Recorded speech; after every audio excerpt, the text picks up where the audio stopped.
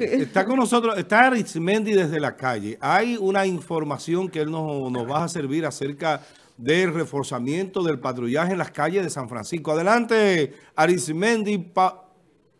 La antigua. La antigua. Muchísimas gracias. Asimismo, es en esta ocasión me encuentro en el cuartel eh, de la Policía Nacional con asiento en San Francisco de Macorís, donde ya las autoridades policiales han anunciado que más de 400 agentes estarán distribuidos en este municipio de San Francisco de Macorís. Los mismos estarán divididos en cuatro frentes divididos por zona con, eh, con diversos comandantes.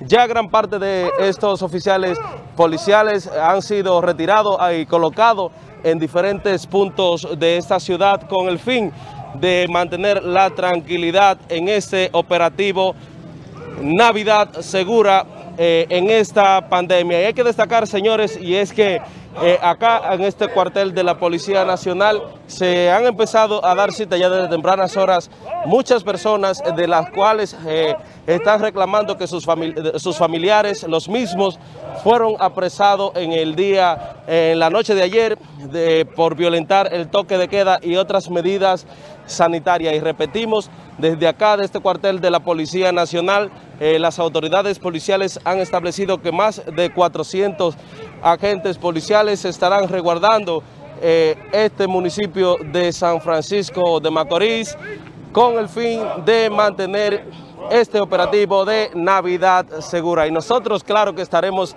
a la expectativa de todo lo que pueda pasar en el día de hoy con el fin de mantenerlo siempre bien informado. De mi parte es todo lo que tengo por el momento. Retorno con ustedes al estudio.